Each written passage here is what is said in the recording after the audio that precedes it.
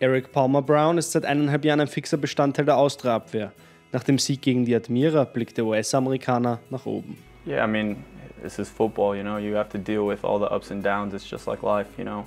I think as a team, in the moment, like when you're in it, it's very difficult, but like right now we have two wins in a row and I think the morale is really high, so it's just it's a roller coaster and you just got to keep going with it. I think we have to ride this momentum and keep going forward and keep getting as many points as we can. It's been a while since we won back-to-back games, so to get these six points is obviously very important to us as a team and in the table as well to make it into the top six. So I think as a whole, as a group, um, we're improving and it's it's getting better. Um, the game against Admira was obviously it was cold, it was windy, snowy, so um, to get those three points and get those four goals and keep a clean sheet was, I think, it meant everything to the team.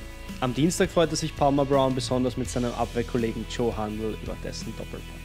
I mean, class, class goals. Uh, the header was was good. He was open for the header, but uh, the first goal he took, he took it so well, and I was so happy for Joe because he came in. Maybe plays a position he doesn't play so often, right back, and took the first goal like a true like striker or winger. So uh, was hats off to him. Die Austria hat Palmer Brown von Manchester City ausgeliehen. Die Zeit in Wien hat dem 23-Jährigen bisher sichtlich gut getan. I, I think I, I've developed as a player. I've developed, you know, playing games and getting those minutes and those valuable experiences with my teammates and stuff like that. Because I think when you lose these games or um, have these defeats and the downs in football, it's it's very important for your growth because there's no better way to learn when when you're losing games or winning games. So that's I think the most valuable experience anyone can can get. I do think yeah some of my biggest strengths are that I am strong, fast. Um, I feel like I like to find the passage out of the back, technical, and being able to keep the ball. So for me, those are a few of my strengths. And then I think things that I can still improve on is being the leader as well. Um, you know, I think guys like Mikey and Shoisi, he they handle it well. You know, they they're they're older, they're experienced, and they they communicate a lot. And I think that's something that I still have to work on and be more aggressive as well. So, um, like I said before, like playing with these guys, it, it we feed off each other well because um, what I lack, I think they have the strength in. Auch mit seinem neuesten Innenverteidiger-Kollegen Christoph Schösswendter versteht sich Erik Palmer Brown auf und abseits des Platzes sehr gut.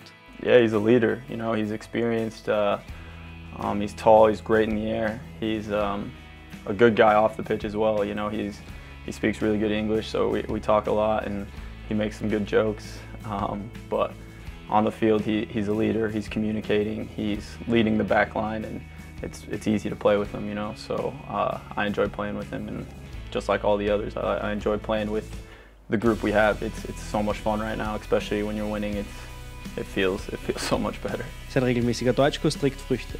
Palmer Brown versteht immer mehr, wenn seine Mitspieler in der Kabine sprechen. Yeah, it depends. Uh, sometimes like if people are speaking fast, like it just goes straight over my head. Like, uh, but I'll pick up like some phrases and words and like put it together what the like conversation's about. But yeah, right now I'm learning about like past tense and stuff like that, and it's it's difficult. Um, just changing like the verbs and stuff, and but it, it, it's good. She's a she's a great teacher, and um, I think it's been it's been fun for me like doing that German and uh, being able to learn a little uh, about the language and kind of understand how things work. Auch beim Bowlen und Golfen beweist der US-Amerikaner Talent. Ein Plan B nach der Karriere? I wish it was like a plan B. I wish I was good enough to play golf like after my football career, but I don't think I'm that good. Um, but yeah, I like to. I have like hobbies, so like golf, bowling. I haven't done bowling here in Austria, but I've done done a couple golf golf matches with uh, Mikey, and just been chilling. I play music. I play a little bit of guitar, so I really like music and enjoy that. Am 7. Februar rückt die Musik aber in den Hintergrund. My team's gonna win the Super Bowl. Chiefs, Kansas City Chiefs. I'm from Kansas City. Um, I'm a huge Chiefs fan.